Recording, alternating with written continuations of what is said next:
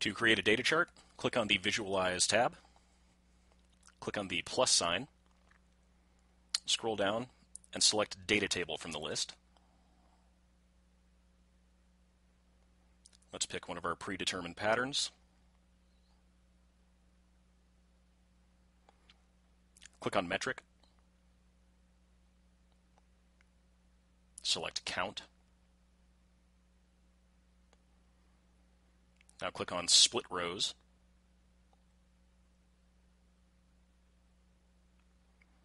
Click on Select an Aggregation, move down to Terms.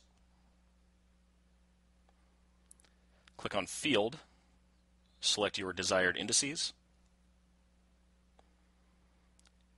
In this case, we'll use the user ID keyword.